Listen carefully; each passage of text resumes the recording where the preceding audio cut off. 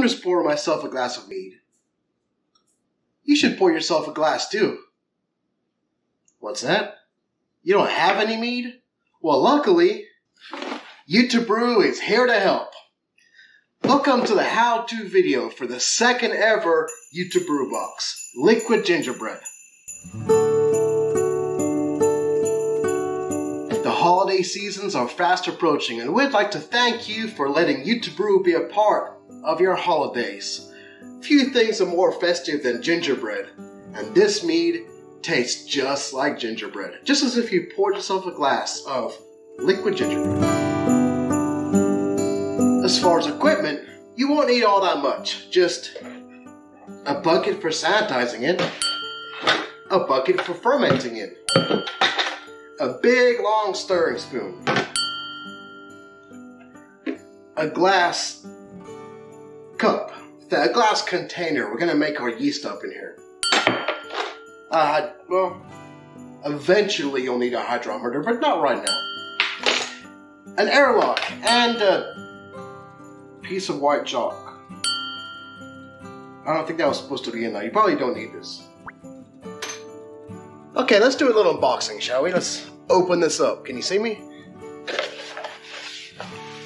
Inside we have our wonderful powders. Yeast, packet A, packet C, vanilla pod. Packet B, this is our spices. It look like Amazon packed that bag. Packet D. Graham crackers. Molasses. And if you chose, they included honey. A little baggie, a little little spice baggie. Some caps and our sanitizer.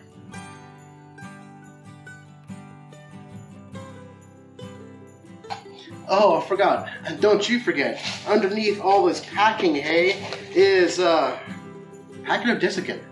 Don't eat this. And some labels for a finishing touch on your bottles. These are for later. You'll need the labels and the caps later. For today, brew day, you also won't need the vanilla pod, sachet D, which is stabilizers. You also won't need the graham crackers. Those are for secondary. Don't eat these. It says so right there. Let's start by whipping up our sanitizer. Get all this stuff sanitized.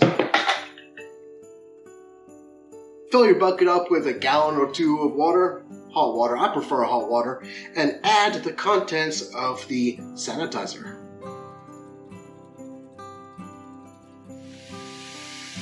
Let's go ahead and take all of your items, your equipment, and toss them in that sanitizer water. We're gonna want to sanitize our little spice bag too.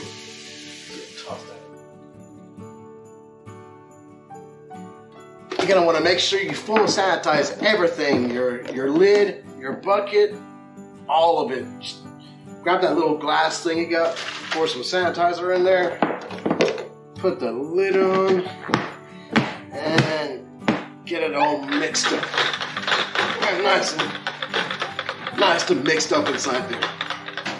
And let that sit for a while. Drink some mead.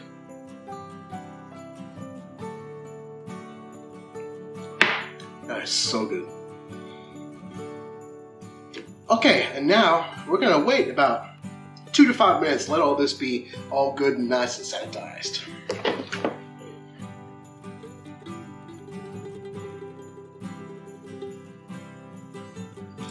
Okay, let's go ahead and prepare our yeast. Take your little vessel and fill it up maybe maybe half of the way with water. We recommend using bottled water over tap water so you can avoid all those chloramines or whatever, but do not, I repeat, do not use distilled water. Distilled water, no good. Bottled water, perfect. Tap water, acceptable, but it's better to use bottled water. So fill it up about, fill it up about yay way with water. Now you're gonna want to put this in the microwave and heat it up to about 101 degrees Fahrenheit. And then open sachet C and pour it in there. yeast preparation. Give that a good old, give that a good old mix up with your water here.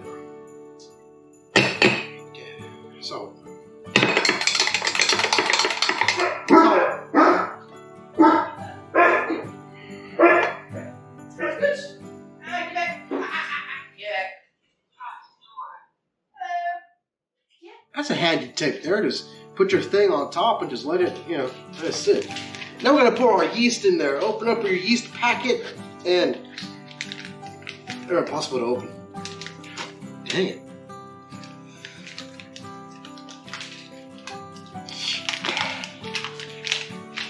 I'm gonna talk to the packing company. These are ridiculously hard to open. Pour the yeast in there on top of the, the stuff. Now you're gonna wanna let it sit like this for about five minutes. Then stir it vigorously again with your spoon. Let it sit for 10 more minutes. Then you wanna pour it into your thing. Try not to let it sit for longer than 15 minutes. Set this aside. Whilst I prepare the mead. Or, at least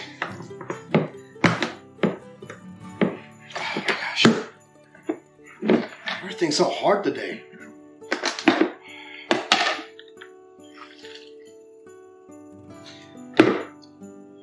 So essentially what you want to do, you want to add 3.25 pounds of honey. We used sorghum honeydew honey. 3.25 pounds of honey and uh, a, a gallon of water. Or 3.25 pounds of honey plus water to equal one gallon. If you ordered the honey option, the honey is pre-measured out for you. Pour these into the thing, add water to one gallon, mix it up, and then we'll move on to the next step. 3.3.25 pounds of honey. I'm going to add some water to this to one gallon and mix her on up. Okay, now to mix this up, you could take your handy dandy spoon and stir it vigorously, get all that mixed up as perfectly as possible. Or you can be like me and get one of these handy dandy drill stirrers. Ah. Put it on the lower setting. If you do use one of these drill stirrers, it's very important not to allow those plastic or metal paddles to touch the bucket or the glass. It could scratch it or break it. You're not actually stirring with those paddles, you're creating a vortex in there, and the vortex mixes the water honey together.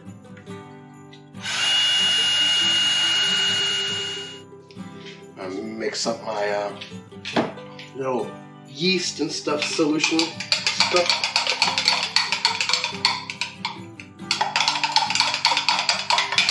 Stir vigorously. Sachet A is your nutrients. You're gonna wanna add those to the bucket and mix it together. Now, granted, I probably should have put this first so I wouldn't have to mix it twice, but uh, oh well. I'm not famous for doing things the easy way.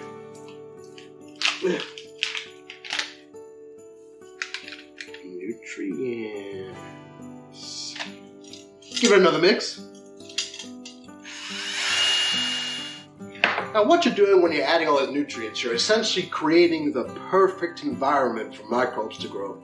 That's why it's so important to have a closed system, a sealed system with an airlock on here to stop anything from getting in there, because bacteria, fungus, anything.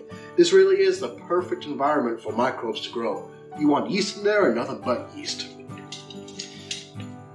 It is, it is not stirred up very well, it's clumped on top, so uh, let's stir some more, shall we? I forgot the molasses. We have to add the molasses to this. So I'm gonna add molasses and then stir it up a third time. Remember how he talked about me not doing things the easy way? Everything's impossible to open these days. It's got this freaking seal on there. I'm gonna have a word with a packing company. Open this thing. Oh, I think I can do it. Oh, yeah, there we go. Ah, there we go. There we go. Is that yummy? Oh, that's yummy. That's almost as yummy as honey. Molasses, in you go. Is it hard to get it all out of there? I'm going to use my little spoon handle to kind of coax as much of that out as I can. Yeah, there we go. There we go. Now we got everything in there.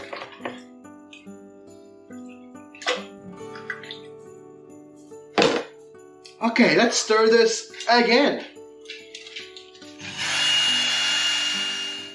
This is starting to become a lovely golden ginger color now. Once again, I'm to get my spoon to make sure I got it all, make sure there's no stragglers of honey or molasses left on the bottom. And no, looks like we're all good to go. Now, we want to add our super secret blend of spices to this. So, you want to take the entire contents of packet B. This bag was packed by Amazon, itty bitty spices in the bottom of a big giant bag. Dig around your sanitizer bucket for your your little spice bag, the included spice bag. Shake off all the excess. And transfer the spices into it. I wonder if I can do this.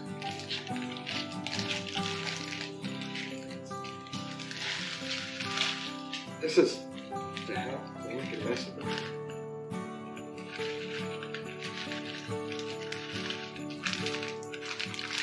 It's harder than it looks.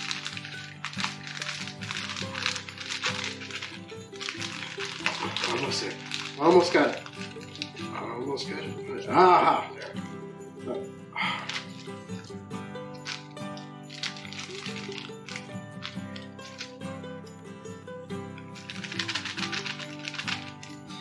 Okay, there. All the spices are from packet B into this set, this little tea bag looking thing here. Tie a knot in top to seal it, and and there you go. Take your spice bag and drop her on in there. Just let that be, you know, just let it sit. Push it down, swirl it up with your thing.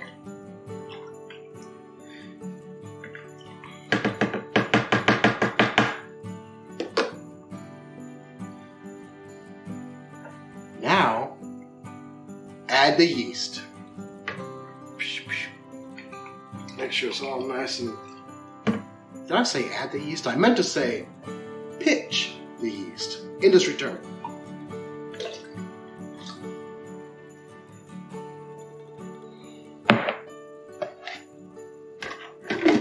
And there you have it. Seal the bucket. Put your airlock on top. Where's the airlock?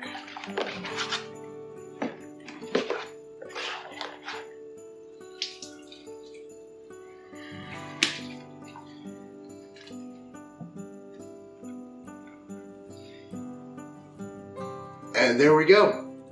We gotta let this sit for, uh, um, I imagine it'll take seven to ten days, maybe a little bit less, maybe a little more for fermentation to complete. And then we're gonna move on to secondary. I'll see you in that video.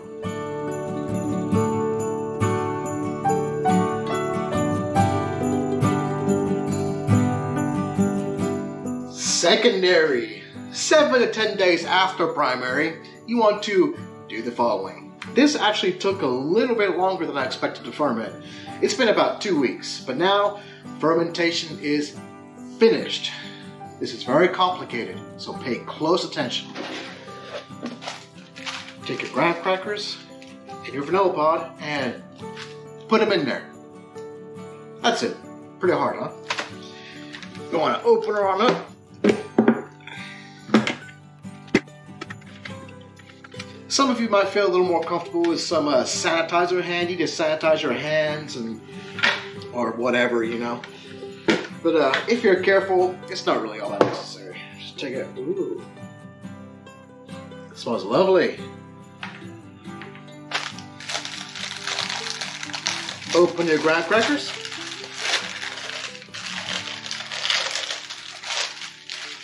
And uh, I don't want to splash very much.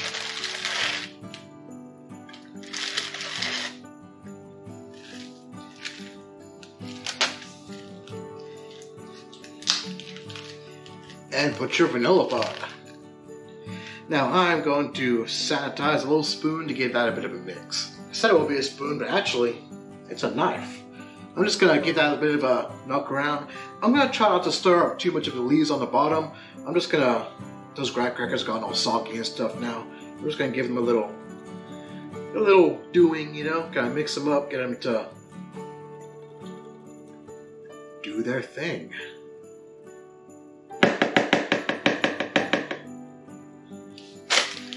And there you go. Put your lid back on, and I'm gonna go ahead and spray the bottom with some sanitizer. Just because I'm weird like that.